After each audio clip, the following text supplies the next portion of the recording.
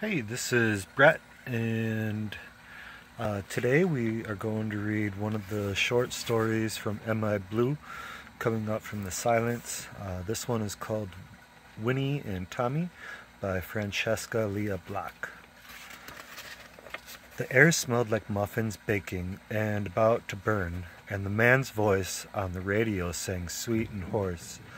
Tommy drove his yellow Karmann Ghia over the bridge into a city that seemed made of honey and charcoal.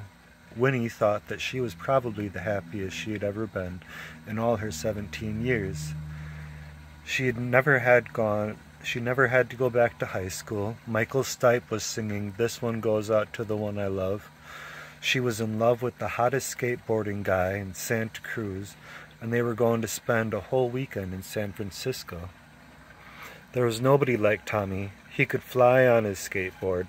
He had heavy-lidded blue eyes and soft lips that made him look like the angels in Renaissance paintings, and he could draw Renaissance angels, cars, portraits, and almost anything else.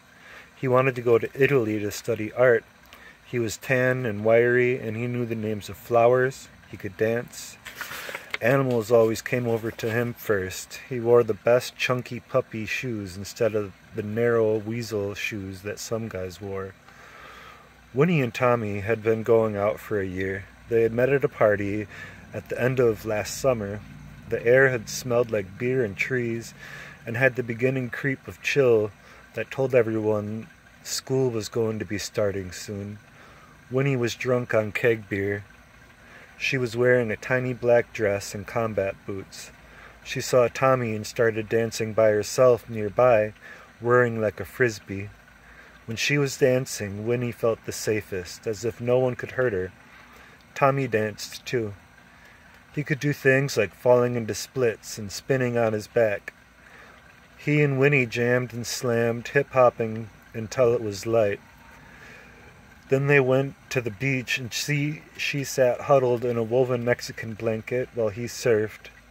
They ate whole grain pancakes in a natural foods place, and Tommy laughed because Winnie could eat as much as he could, even though she was tinier than he was. Winnie didn't want to tell didn't want the time with Tommy to end.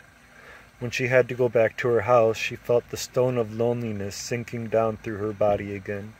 She had forgotten about it since she and Tommy had started dating. During the whole school year, Winnie and Tommy were always escaping together to skateboard, play pinball on the pier, eat poppy seed cake, look at art books, just drive and drive, listening to music. After a while, they told each other what they were trying to get away from. Winnie said, Our house is like a tomb. It's like my mom died when he did. Winnie's dad was killed when she was 12. He had been an architect and built their house by the sea. He had also built Winnie huge turreted sandcastles and called her his mer baby and given her shells and showed her how, how if you put them in water, all their original brilliant color came back. When she cried, he let her listen to his magical conch and told her to take three deep breaths and promised she would fall into a deep sleep of beautiful uh, deep sea dreams. It always worked. Now there was just her and her mom and whatever new boyfriend her mom brought that night. Tommy said, Your dad probably is still around you in a way. I believe in that stuff. Maybe he's like your guardian angel. Winnie knew what he meant. Once she was driving home from a party drunk, and her mom's car spun out and careened across the street, but she wasn't hurt at all, and the station wagon was only scratched. That was one time she was sure her dad had been around. She never got behind a wheel drunk again after that. She wished someone had been her dad's guardian angel the night his motorcycle crashed. At least you had a father who really loved you, Tommy said. Tell me about your dad. He's a bastard. Winnie ran her fingertips along the lines ridging Tommy, Tommy's forehead. He'd back up the car to the edge of a cliff with me in the back seat. I was like three. He'd just crack up when I screamed, Oh God. And he did things like he told me that if I that I that we were going to Europe. He packed my bags and everything. I think I was five. All I really wanted in the world was to go to Europe and see the paintings like in the books. He dressed me up and we went to the airport, right to the gate, and then he starts laughing and saying it was just a joke. That's sick. What did your mom do? She didn't know about it. I didn't tell her. Why? I don't know. I didn't want to upset her. He beat me up, too. He broke my arm once. I told my mom I fell down skateboarding. After that, I wasn't afraid to do anything on my board. Tommy. She saw a flash image of her dad on his bike, eyes hidden under dark sunglasses, square jaw, hands gripping the bars. She stopped the picture there. And then he left, thank God. I wish the reason I can never stay still is because of him. I read that guys who don't have strong father influences feel like they're spinning all the time. I wish I could be your dad, Winnie whispered into Tommy's hair. We can be each other's dads. They were also each other's moms, making sure that the other had eaten, was dressed warmly enough. Once, while Tommy was teaching Winnie to do a special skateboard jump, he said to her, You're like the son I never had. She loved that. It was better than if he had said, I love you. They won cutest couple in the school yearbook. They went to the prom in matching baggy black tuxedos. Tommy gave Winnie a corsage of orchids that was almost the size of a centerpiece and must have cost him a week's pay from the skate shop where he worked. He said, Let's drive to San Francisco the day school gets out. The first place they went in the city was a tiny Japanese restaurant without a name. A line of people drank beers out of paper bags while they stood outside on Church Street, waiting to get in. Tommy asked two handsome men in very soft looking sweaters if they would purchase some beer for him and Winnie. He had a fake ID, but sometimes it didn't work. The men smiled, and one of them took Tommy's money, went to the liquor store on the corner, and bought two huge Sapporos. He handed the paper bags to Tommy, the beers were pearl dripping with cold, and the caps had been opened but half stuck back on. The man gave Tommy his change. I think the big ones cost more than that. It's okay, said the man, looking into Tommy's eyes. Thanks.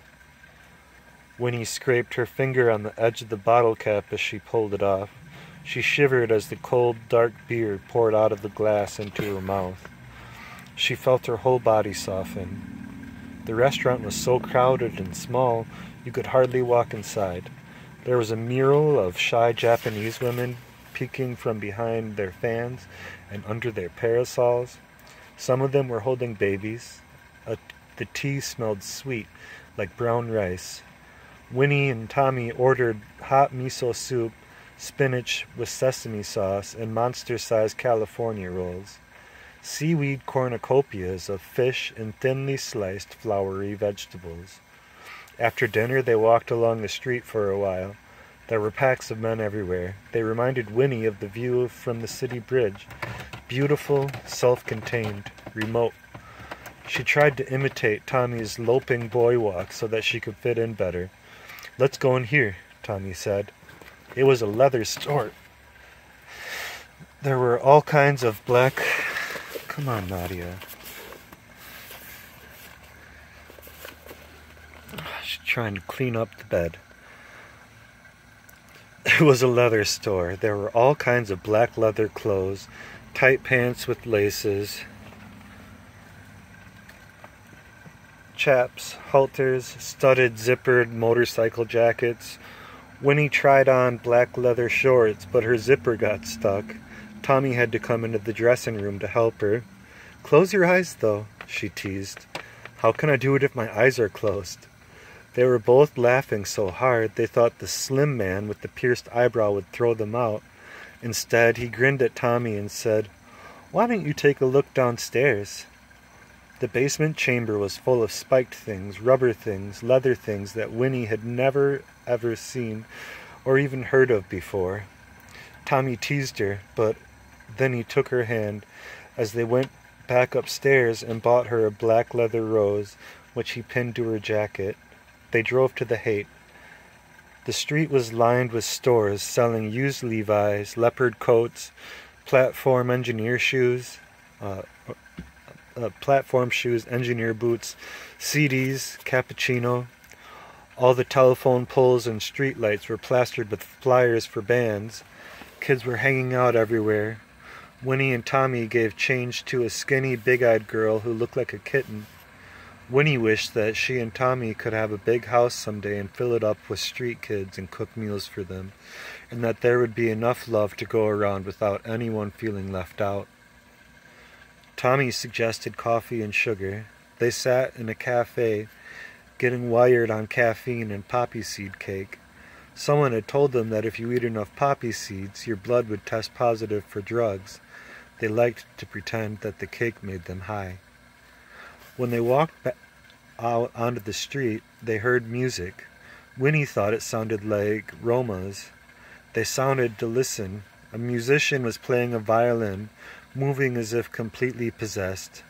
The violinist had cafe au lait skin, long dark curls, a beautiful face, and an androgynous body that swayed in a puffed sleeved midriff shirt, tight shorts, and high pirate boots. The most beautiful people are the ones that don't look like one race or even one sex, Tommy said. When he thought about this, she knew that with her short brown hair, square jaw, and straight up and down body, with her baggy jeans and big shoes, she looked a little like a boy. She thought that Tommy's eyes and lips made him look prettier than she did sometimes. Once she had put mascara on him for fun and been almost shocked by his beauty. When he pulled his arm. She looked at his face. His eyes seemed far away, as if watching a movie different from the one she saw. They walked down the street while the Roma violinist, who was not black or white, man or woman, kept playing the music, clicking its heels and snapping its fingers after them. Winnie wanted to go straight to the hotel, but then they passed a tiny bar and heard blues coming from inside, and they both knew they had to dance. The bar smelled of barbecue and beer. They got in with their fake IDs and danced in a crowd of people in front of a little stage. As she pressed up against Tommy, Winnie thought their two bodies would melt down and merge into one another. She thought about this the whole way to the Red Vic. The Red Vic was just that an old Victorian building painted bright red. There was a movie theater downstairs and a hotel above it. The hotel rooms had special themes the Rainbow Room, the Rose Garden Room, the Peacock Suite. Winnie and Tommy had the Flower Child Room. There were big psychedelic blossoms everywhere. The windows of the room looked right out onto the still busy night street where people spare changed and cars honked, but Winnie felt like she was in another world a world of yellow daisies and purple peace signs and love-ins, Jimi Hendrix and Janis Joplin. She went to take a bath. When she got back into the room, smelling of vanilla almond oil and wearing her silk men's pajamas, Tommy was lying on the bed in his clothes, asleep. She kissed his cheek, but he didn't stir. She took off his boots and pulled the covers over him. Tommy, she whispered. He didn't move. Winnie put her arms around him. He was always so warm, like a puppy. His light body got so heavy when he slept. She nestled against him in the flower child room. As soon as they woke up the next morning, Tommy said, I have to go get some coffee And me. He kissed Winnie gently with his soft, full, Italian Renaissance angel lips and got up to bathe. Winnie and Tommy ate croissant and drank cappuccinos in the Victorian-style parlor full of overstuffed furniture. The croissant tasted too rich for Winnie and the coffee too strong. She felt queasy and still sleepy. Her head pounded. Let's get some sun, Tommy said. He was jittery, his knees jumping under the table. Winnie and Tommy walked along the panhandle of the park that rolled like a river of grass trees, hedges, and flowers on its way to the sea. Everything was as green as parks on a map. The rose garden was Tommy's favorite. His mother had taught him all the names of the roses, and Winnie quizzed him as they walked down the paths in a haze of fragrance. Snowfire, Sterling, Silver, Smoky, Seashell, Evening Star, Sunfire, Angel Face. They sat on a stone bench, and Tommy read out loud to Winnie from Franny and Zooey. Winnie wanted to say, I love you. She could taste the words like frosting on her lips, smell them like the white roses Tommy knew by name. When they got to Chinatown, the shops were just closing. In the window of the butcher shop, dead ducks spread and dangled. There was a pig with cherries for eyes. Fish flickered on the sidewalk in plastic bags.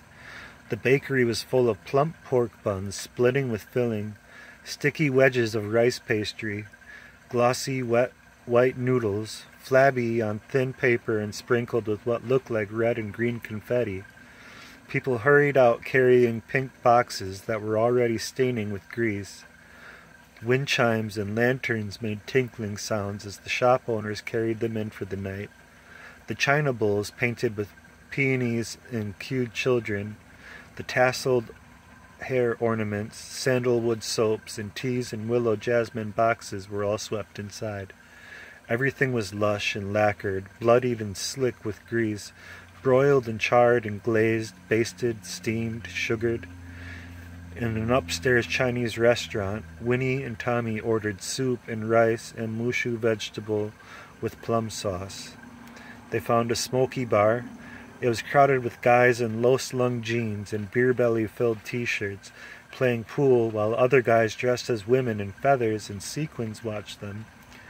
A beautiful black blonde in white satin winked at Tommy. Winnie didn't know where to look first.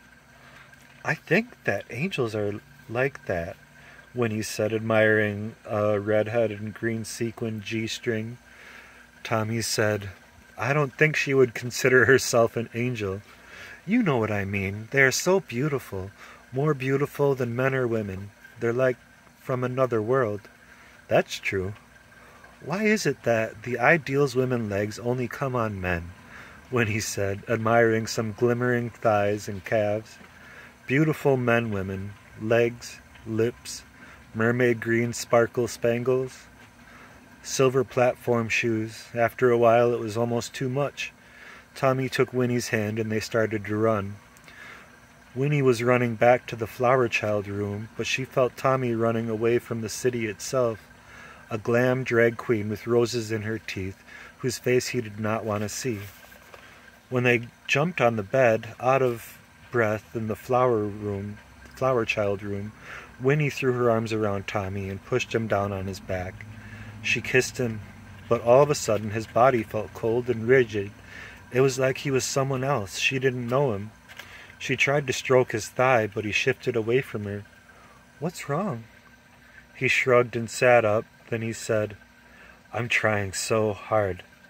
He pounded his fist on the bed. Winnie felt the mattress springs contract as if they were inside her body. What do you mean? I like guys. I've always liked guys. I kept waiting for it to stop, or at least to fall in love with someone the way it is with you, so then I would just have something concrete. But it's just this feeling. I can't make it stop. Winnie stared at him, his face hidden in his hands.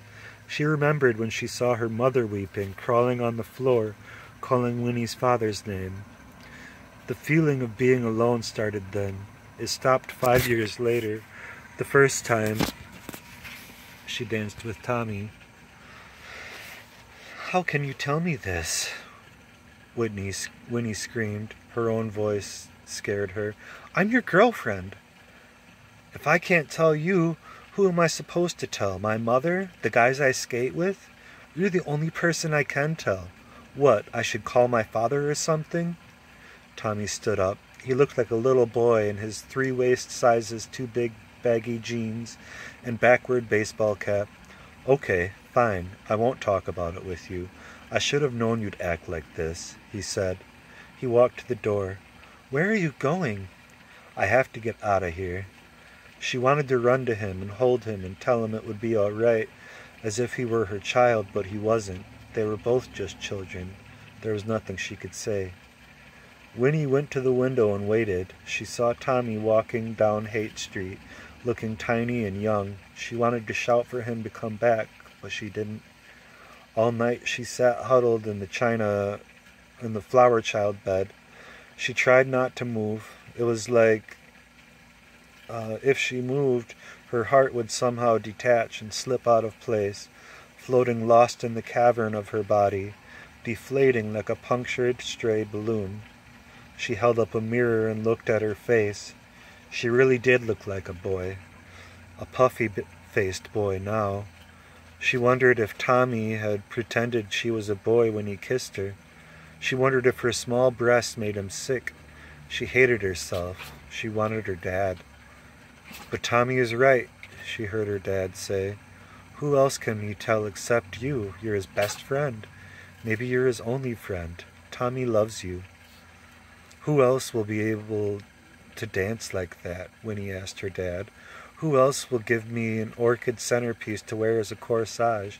Who will know exactly which shoes we should both get?